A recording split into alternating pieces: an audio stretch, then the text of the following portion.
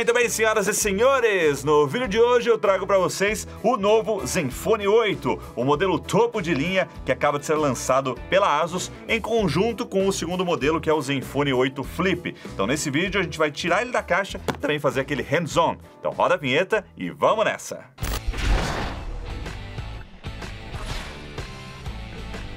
Nesse ano a linha Zenfone está um pouco confusa. Esse menino aqui é o Zenfone 8. Ele é, dos dois modelos que estão sendo lançados, o topo de linha. É o que a Asus considera aí o flagship. Porém, ele não tem a câmera flip, que é uma tradição aí nos Zenfones desde o Zenfone 6. Essa câmera flip está em um outro modelo que chama Zenfone 8 Flip, que inclusive tem um vídeo aqui no canal. Então esse daqui era para ser o Zenfone 8 Mini. Era pra gente ter um Zenfone 8, que tem a câmera flip normal, e um modelo Mini. Só que eles mudaram.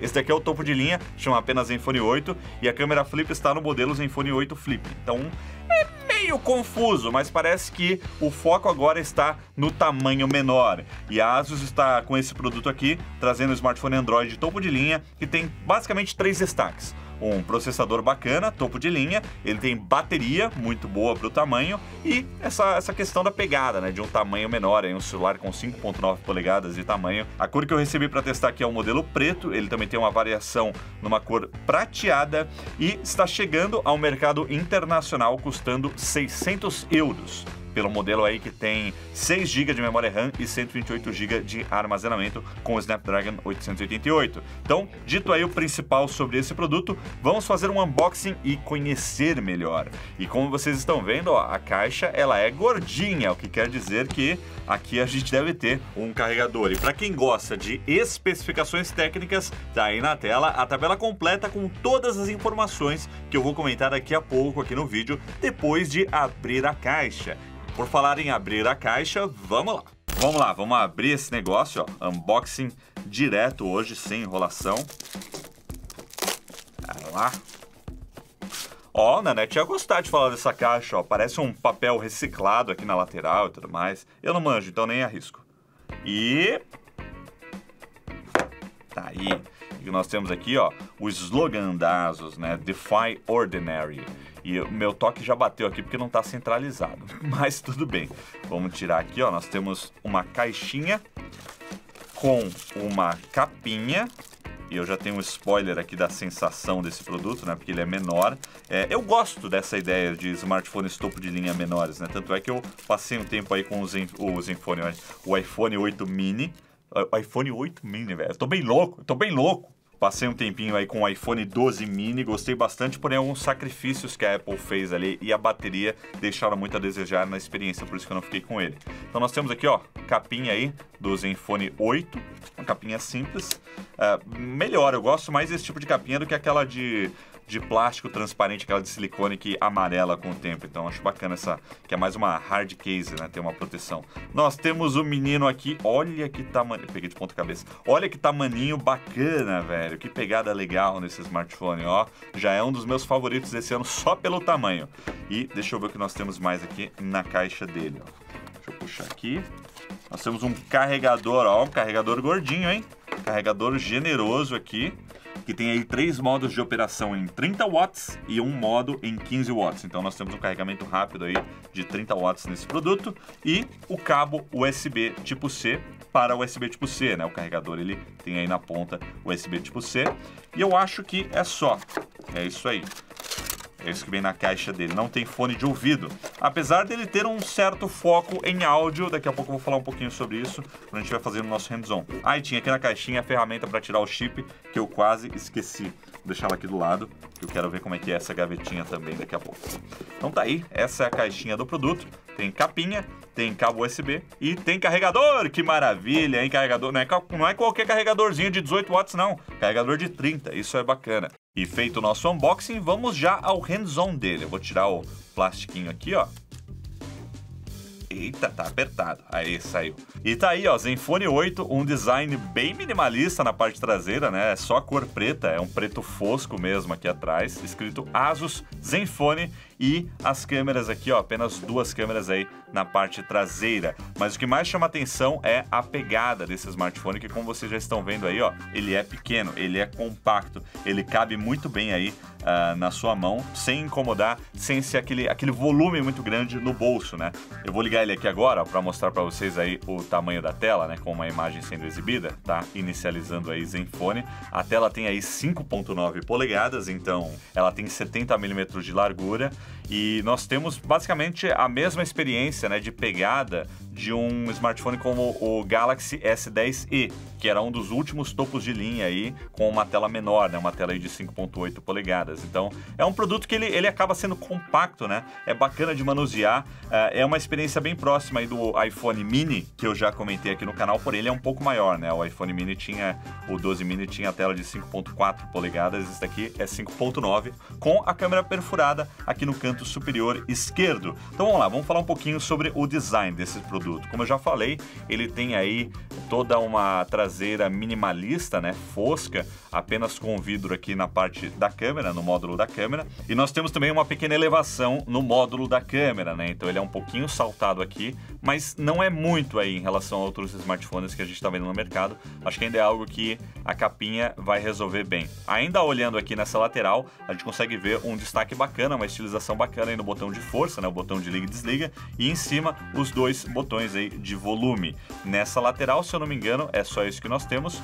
Do outro lado, aparentemente nós não temos nada, apenas as linhas aí das antenas, né? Lembrando que ele tem aí conectividade 5G, graças aí ao Snapdragon 888. E aqui na parte de baixo, olha só, nós temos aí a gavetinha para o chip de operadora, o USB tipo C e uma caixinha de som aqui do lado, um speaker. Lembrando que ele é estéreo, né? Usa tanto o speaker aqui embaixo quanto o outro aqui em cima, que é o alto-falante.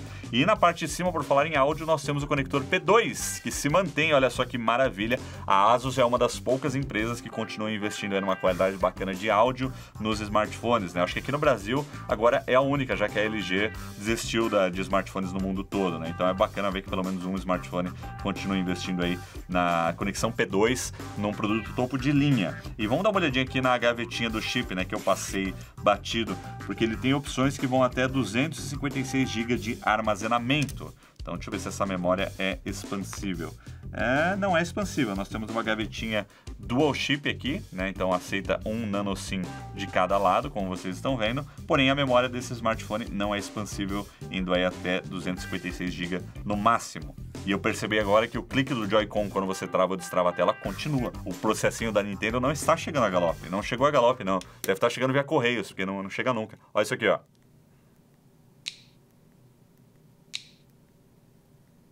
Nintendo Switch, é a única coisa que me vem à cabeça.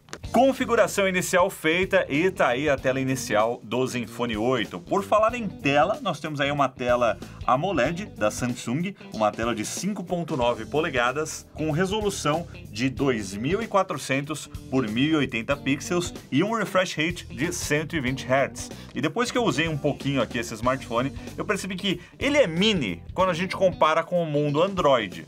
Porque quando a gente compara com o geral, ele não é muito, muito pequeno não, né? Em relação a, por exemplo, o iPhone 12 mini, né? Na verdade, se eu comparar aqui, ó, com o iPhone 12 Pro, né, que tem o mesmo tamanho aí do iPhone 12, a gente vê que a tela, ela tem a mesma altura.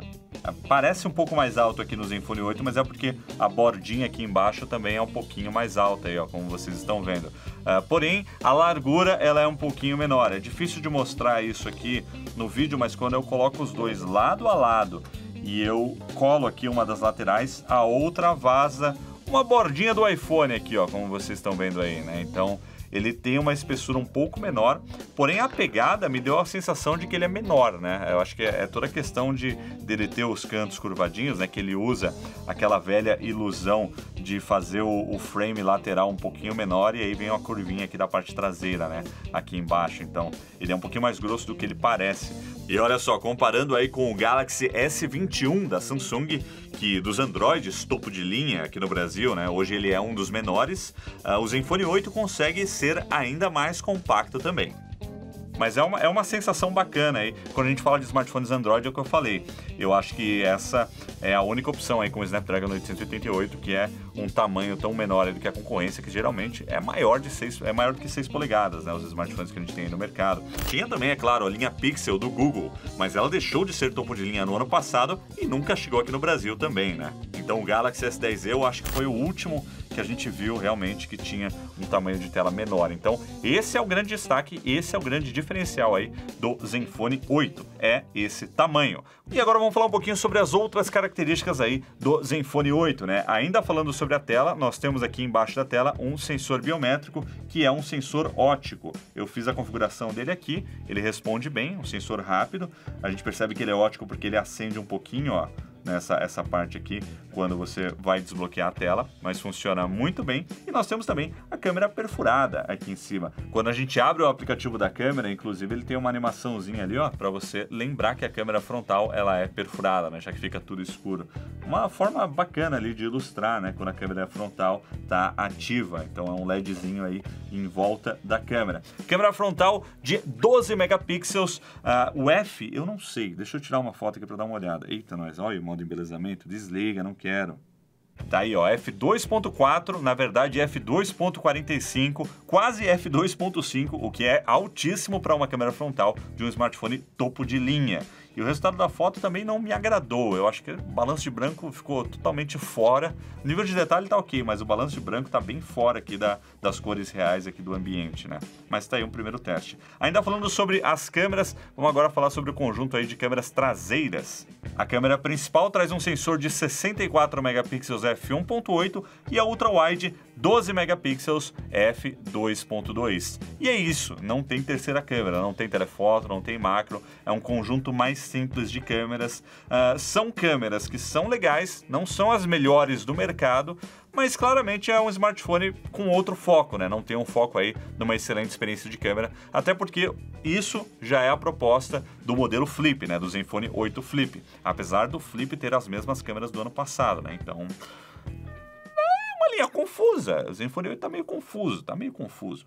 E além do tamanho reduzido, para facilitar também, a Asus refez aquele modo de uso com apenas uma das mãos. Ele tem um togglezinho na central de controle e aí quando você ativa funciona igual à alcançabilidade do iPhone, né? Você arrasta aqui para baixo, toda a interface desce, permitindo aí que você alcance todos os botões. E agora, por dentro do Zenfone 8, como eu já comentei, nós temos aí um Snapdragon 888 com até 16 GB de memória RAM e 256 GB de armazenamento. Memória RAM até vai bem alto, né? Mais do que a gente precisa no dia a dia, eu diria. Porém, o armazenamento pode deixar a desejar para quem procura um smartphone topo de linha, né? Visto que é apenas 256. Nós temos o Android 11 rodando aqui também e a Asus promete aí duas grandes atualizações, então ele deve ir até o Zenfone, uh, até o Zenfone, até o Android 13. E a interface continua sendo a Zen UI, que recentemente adotou aí um padrão minimalista bem próximo do Android nativo, né? Então, como a gente pode ver aqui, a gente continua com essa, esse design que não tem muita personalização do fabricante. Existem várias otimizações, como por exemplo o sistema de memória OptiFlex, né, que já é tradição aí da Asus, mas nós não temos nenhuma personalização pesada na interface. Aí você pode ficar à vontade para personalizar o tema ou instalar um launcher aí que você quiser, mas se você não quiser também já está nativo aí. Eu acho isso bacana. Agora um ponto importante, bateria, porque um smartphone menor sempre traz uma complicação que é a bateria, né? Foi um dos meus grandes problemas aí com o iPhone 12 mini, que se eu usasse ele muito, não chegava nem na metade do dia, já tinha que recarregar.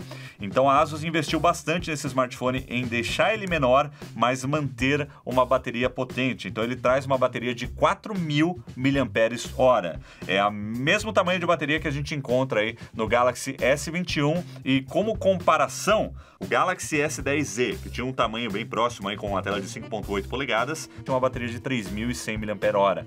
Então ele consegue trazer uma bateria relativamente grande para esse tamanho de smartphone. E finalmente nós temos um Zenfone da Asus com certificação IP68. Então esse cara aqui é resistente à poeira e água, pode ser submerso aí até um metro e meio de água, água não água salgada, né? Água normal, água doce, uh, um metro e meio, 30 minutos. Então ele aguenta, ele tem certificação IP68. Na verdade a certificação dele é IP65 e IP68, né? Ele tem as duas certificações. Porém, ele segue sem o carregamento sem fio. A Asus continua preferindo investir no tamanho da bateria e deixa de lado aí essa conveniência do wireless charging. E a última coisa que eu queria comentar aqui é com relação ao áudio do Zenfone 8, que é um dos grandes destaques aí deste pequeno smartphone. Então, além do, da conveniência do conector P2, né, que nós temos aqui, ele também traz aí um áudio com a certificação Direct, né, de áudio em HD, assim como a linha ROG Phone. E nós temos falantes aqui, os dois falantes, eles são quase tão poderosos quanto os que estão no ROG Phone 5. Então, a gente tem um volume bacana de áudio e uma boa definição. Eu estava até fazendo um teste aqui, ó. O negócio é alto e tem um nível de detalhe legal. Não parece aquela caixinha de som pequena e o celular todo vibra, né, quando você está ouvindo. Ó. Essa de baixo é um pouquinho mais forte do que essa caixinha de cima aqui. Então, assim, um áudio bem legal, tá até falando mais alto aqui. Um áudio bem bacana e, assim, no geral, eu gostei bastante do Zenfone 8 porque ele traz uma proposta diferente para o mercado. Então, ele traz um smartphone Android topo de linha com Snapdragon 888 com o tamanho menor e P2. Traz o P2, traz um áudio legal. São diferenciais aí que podem agradar muitas pessoas. Porque quem quer um smartphone menor, mas que se mantém com a configuração de um topo de linha, tem a opção aí do iPhone 12 mini, mas no mundo Android não tem muitas opções aí com o Snapdragon da série 800. Então é bacana a ASUS estar trazendo um pouco de diversidade aí uh, para a categoria, né, topo de linha. Isso eu acho bem legal. Ainda assim, com o tamanho reduzido, eles conseguiram manter uma bateria bacana de 4.000 mAh, o que é muito legal, porém sofreu um pouco no sistema de câmeras, né? Então, nós não temos aqui um melhor sistema de câmeras e nem a melhor quantidade aí de perspectivas. É uma normal, uma ultra wide e acabou. Então, é para quem não quer a melhor das câmeras, né? Quem valoriza mais o tamanho, o processador, de repente a qualidade de áudio, e essa é a proposta do Zenfone 8. Esse é o topo de linha. Tem o Zenfone 8 Flip também, que tem um outro vídeo aqui no canal. E lembrando que ele está sendo lançado né, globalmente, custando 600 euros pelo modelo com 6 GB de memória RAM e 128 GB de armazenamento, indo a até 16 GB de memória RAM e 256 GB de armazenamento. Então, para quem quiser ver aí as configurações técnicas, vou deixar o link aqui do produto na descrição. E esse foi o nosso unboxing aí, tiramos ele da caixa e também fizemos um, fizemos um hands-on conhecendo aí o Zenfone 8. Eu vou agora colocar a capinha dele aqui, porque eu sempre esqueço de colocar a capinha nos vídeos, mas só para ver como é que é a pegada. A capinha também tem uma leve elevação aqui na parte da câmera, porém é, ela fica, ela dá um joguinho ainda quando você apoia na mesa, mas dá uma proteção bacana, deixando uma área livre para os botões aqui na lateral. Então tá aí, esse é o Zenfone 8. O que, que você achou desse lançamento da Asus? Eles estão acertando em fazer um smartphone um pouco mais diferente do convencional? Comenta aí qual é a sua opinião. Comenta também se achou confusa essa história do Zenfone 8, Zenfone 8 Flip e assiste, por falar no Flip, o vídeo do Zenfone 8 Flip que já está no ar aqui no canal e o link está aí na descrição. Eu vou ficando por aqui e a gente se vê em breve. Valeu, galera, e até a próxima!